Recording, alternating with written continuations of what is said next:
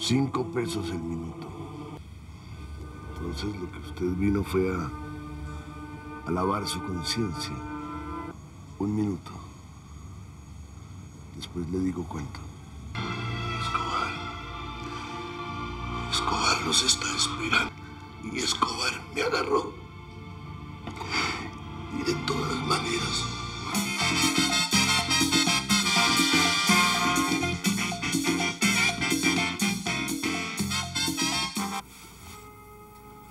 También tengo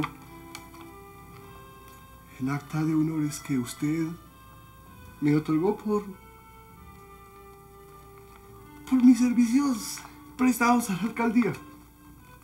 Que dentro de poco va, va a ser ese largo viaje del que tanto habla. Pero su actitud me conmueve.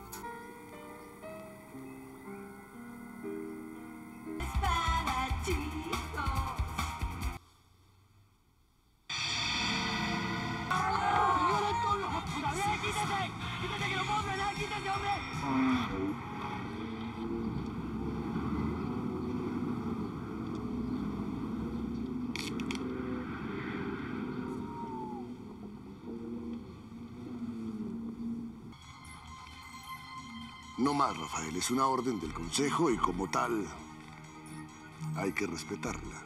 María Mercedes, nos deja solos un momento, por favor. No sombra del deseo sobre mí. Cumplía. Gabriela, el chance es una ciencia matemática. La suerte no existe, la suerte hay que buscarla. El día que fui a verla, solo quería saludarla y darle el sentido pésame, pero en ningún momento fui a pedir ayuda y mucho menos casa.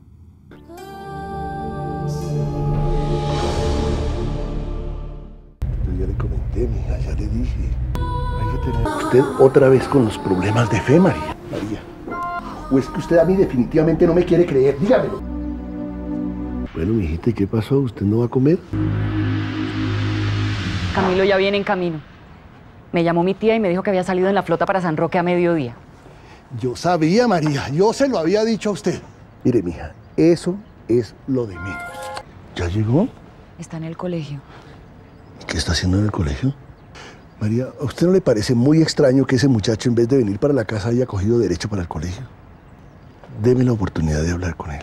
Yo lo único que le pido es que confíe en mí, María. No le ponga tanto problema a esto, María. Es muy complicado, es muy difícil de entender que yo quiera hablar con Camilo a solas.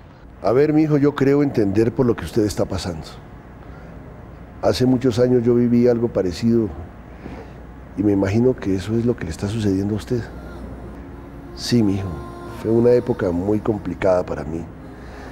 Yo reaccioné con rabia, con incredulidad, casi con odio. Pues ella está muy ansiosa, quiere verlo. Camilo se quedó en el colegio. No, la preparé yo mismo. Pues yo me di cuenta que usted no tenía ganas de cocinar. Además hice mi mejor esfuerzo, hija.